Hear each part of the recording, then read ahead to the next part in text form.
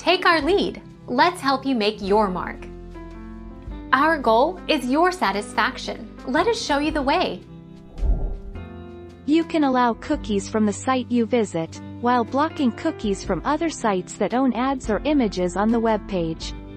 All cookies and site data from other sites will be blocked, even if the site is allowed on your exceptions list.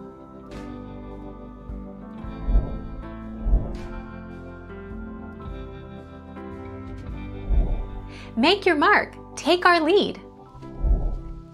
Yet, depending on how cookies are used and exposed, they can represent a serious security risk.